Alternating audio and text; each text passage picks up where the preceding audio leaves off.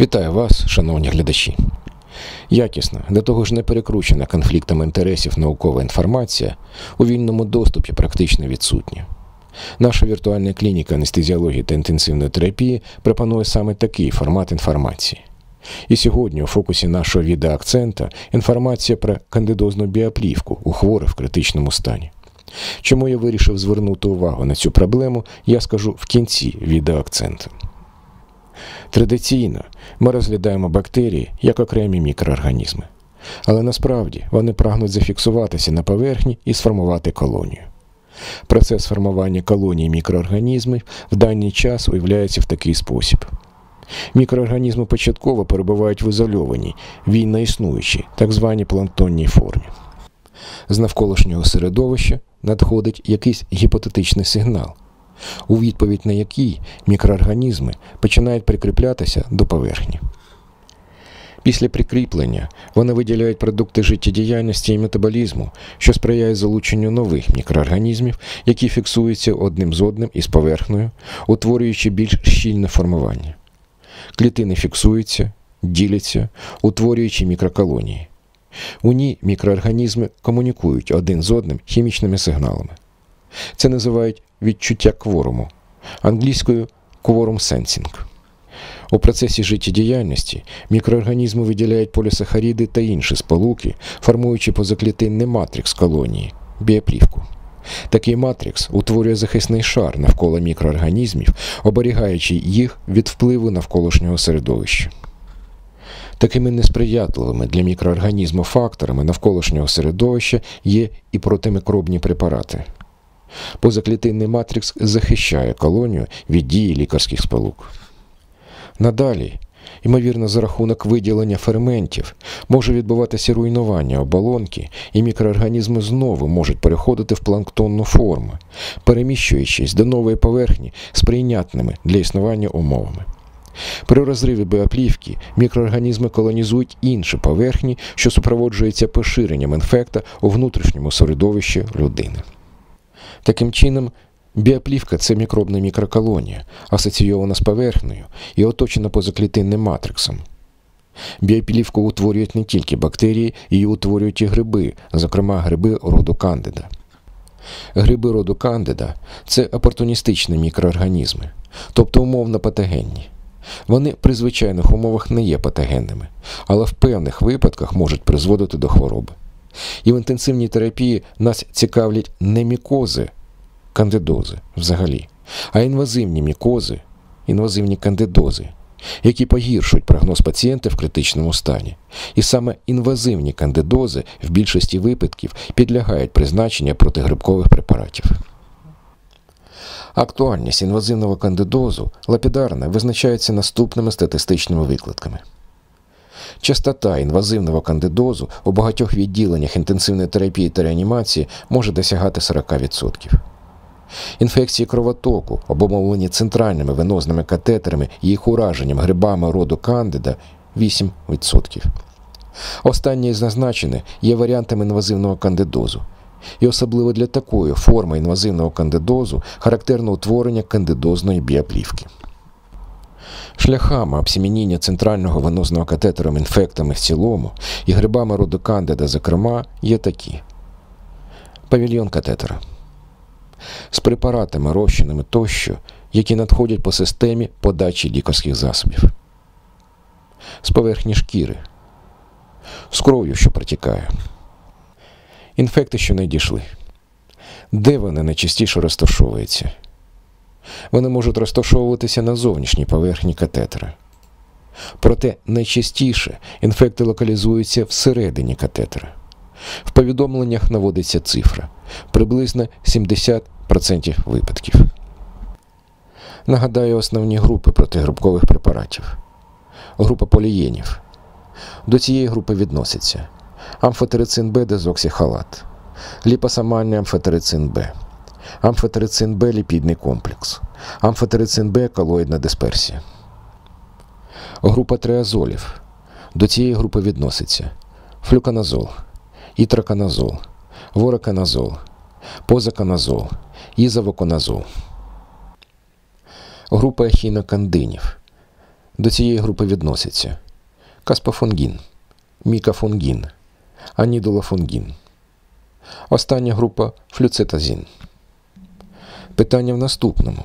Чи всі протигрибкові препарати однаково ефективні відносно представників роду Кандида, які сформували біоплівку, навіть при початковій чутливості грибів до протигрибкових препаратів? Результати досліджень свідчать, що ефективні ліпосомальний амфотерицин Б, ехінокандини, каспофунгін, мікафунгін, анідолофунгін. Загальний план протигрибкової терапії інвазивного кандидоза наступний. Відбір крові для подальшого культурального та некультурального мікологічного дослідження. Видалення інвазивного пристрою, наприклад, центрального венозного катетера. Системна протигрибкова терапія. Подальші культуральні та некультуральні мікологічні дослідження. Питання в наступному. А якщо інвазивний пристрій, наприклад, центральний венозний катетер, видалити неможливо, що тоді робити? Або ще один аспект. Центральний венозний катетер витягли, поставили новий, а кандидемія вимагає відносно тривалого лікування. Як тоді розцінювати стан знову поставленого катетера? Одним з варіантів прийняття рішення в охарактеризованих ситуаціях є протигрибковий замок, який застосовують одночасно системною протигрибковою терапією. Протигрибковий замок це протигрибковий препарат у великій концентрації, введений в просвіт катетера на кілька годин. Методика цікава. Ефективність неясна. Дослідження відсутні. Є тільки окремі спостереження, які ілюструють щодо того ж, методика не стандартизована. Я наведу кілька описів випадків. Оздемір співавтори описують випадок ефективності протигрибкового замка центрального венозного катетера у дитини 9 років онкогематологічного профілю з бактеріальним грибковим сепсисом. Останній був викликаний кандіда ліпалітіка. Збудник був чутливим до флюканазолу, ітраканазолу, амфотерицину Б, каспофонгіну і резистентним до флюцитазину. Кандіда ліпалітіка рідкісна причина фунгімії. Збутник здатний до продукції великої кількості в'язкого слизу, який дозволяє мікроорганізму прикріпитися до поверхні катетера і захищати його від протигрибкових препаратів. Автори не могли видалити катетер, оскільки батьки відмовлялися від повторної катетеризації. Флюконазол, що вводився системно, було замінено на каспофунгін. Останній також призначений у вигляді протигрибкового замка. Склад протигрибкового замка 10 мг каспофонгіну, 200 одиниць гіпарину в 3 мл 5% розчину глюкози, що вводяться в просвіт катетера на 12 годин. Через 4 доби терапії результати культурального дослідження крові стали негативними. Терапія антибіотиками, системними протигрибковими і протигрибковим замком була припинена через 14 діб після елімінації збудника з крові. В подальшому рецидив не зазначено. Дімонді і співавтори описують випадок застосування протигрибкового замка використанням ліпосомального амфотерицину Б у жінки 64-річного віку, який забезпечується гемодіаліз три рази на тиждень. У пацієнтки був двохпростірний катетер. У неї діагностована катетер-асоційована інфекція, викликана Candida albicans.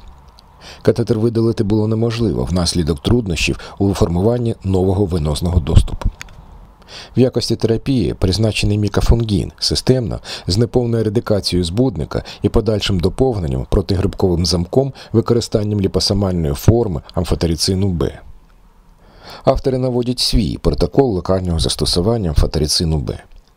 На слайді наведено детальний протокол застосування препарату для використання медичною сестрою. Матеріал в цілому не зовсім підходить для формату відеоакцента, але мені він сподобався своєю правильною пунктуальністю. Тому, всупереч всім правилам формування короткого відеоакцента, я привів матеріал на слайді як приклад, як в силу нерутинності заходу слід доносити інформацію про протигрибковий замок до медичної сестри. Отже, пункт перший. Розчинити ліпосомальний амфотерицин Б амбісом 50 мг флаконі стерильною водою для ін'єкції об'ємом 12 мл, змішати ліпосомальний амфотерицин Б 12,9 мл з гепарином 1200 одиниць, 1,2 мл препарату з концентрацією 1000 одиниць в мл і розчинити у 4,6 мл розчину глюкози 5%. Остаточна концентрація амбісом 8 мг в 3 мл і гепарин 200 одиниць в 3 мл. Другий пункт. Заповнити два одноразові шприца об'ємом 5 мл і зробити позначку. Тільки для заповнення катетера і аспірації, не застосовувати для внутрішньовенного введення. Маніпуляція виконувана медичною сестрою. Увага! Амбісом несумісний з 0,9% розчином натрію хлориду. Перше. Ввести розчин для замка в просвіт просвіти, використовуючи відповідний об'єм залежно від типу катетера. 2,8 мл в кінець, 2,5 мл венусний. Всі просвіти багатопросвітного катетера повинні бути заповнені розчином для замка. Б. Замінити розчин для замка кожні 12 годин у разі виключення його використання. Друге. При необхідності скористатися катетером. Витягти розчин для замка, не вводити в кров, промити розчином глюкози, ввести призначені медикаменти, промити розчином глюкози, ввести заново розчин для замка. Ще один випадок описують Піарсігелі і співавтори у дитину у віці один рік, які були змушені забезпечувати тривале парентеральне харчування. У дитини виник катетер-асоційований сепсис, пов'язаний з Candida albicans. Через тяжкість стану зміна катетера була неможливою. Був призначений ліпосомальний амфотерицин Б системно в дозі 5 мг на кілограм маси тіла і протигрибковий замок об'ємом 0,3 мл, що складався з суміші один до одного спирту 70% і мікафунгіна в концентрації 5 мг в літрі на термін 12 годин. Оскільки дуже швидко була досягнута стерильність крові, що відбиралася з катетера, системно додатково був призначений мікафунгін. Витягання катетера вдалося уникнути. Настало одужання. Цікаво те, що та ж група описує випадок ефективності протигрибкового замка зовнішнього лікварного дренажа у дитини з вентрикулітом, викликаним грибком. Цей приклад буде цікавим для тих, хто працює з нейрохірургічними хворими і стикається з проблемою нозокаміального менінгіту. Недоношеному новонародженому у зв'язку з розвитком гідроцефалії був спочатку встановлений зовнішній лікварний дренаж, а потім вентрикулоперитонеальний шунт. Через один місяць шунт був заміщений на зовнішній дренаж у зв'язку з формуванням інфекції кровотоку, викликаної епідермальним стафілококом і менінгітом. Через 5 місяців у дитину розвинувся катетер-асоційований сепсис, обумовлений Candida albicans, чутливою до флюконазолу, флюцитазину, амфотерицину Б, анідолафунгіну, каспафунгіну, мікафунгіну. Венозний катетер був замінений і розпочато системну терапію мікафунгіном.